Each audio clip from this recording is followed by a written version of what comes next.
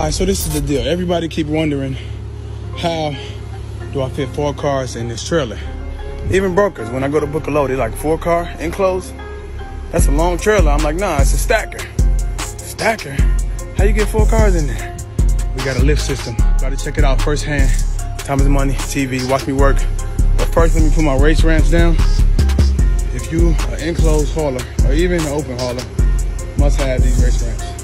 Help you get stuff like that in, no problem, without scratching. Now for the fun part, I call this my super special fun button. Let's go for a ride. Second level. Safety blocks keep, keep the lift from dropping. Almost there. As you can see, second level now.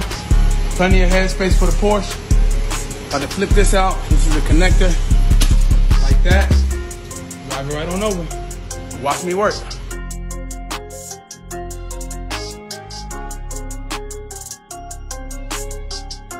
Up here on the second level.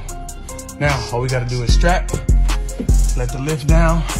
One car is gonna sit on the lift, one car is gonna go under the lift. That'll give us four cars. Yes, sir. Your brother Muhammad Khalifa putting a stack in the stacker trailer. You hear me?